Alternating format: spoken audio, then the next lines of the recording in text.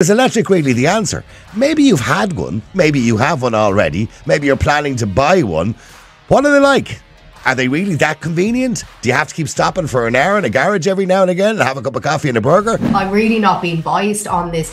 Uh, you know, it's all well and good in the first three to five years of ownerships of electric vehicles that are still under manufacturer warranty. But we in the used car market are seeing the rapid depreciation um, and the effect, the real effects on that on consumers and customers coming into me every day that are in negative equity with their finance on these cars. Norway have a population of 5.4 million. We have a population of around 5 million. They have 25,000 chargers in Norway. They have a charging point every 50 kilometers.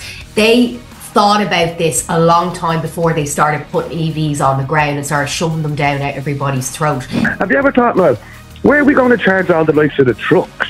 Never mind the cars for now. You can charge your car outside your house, okay.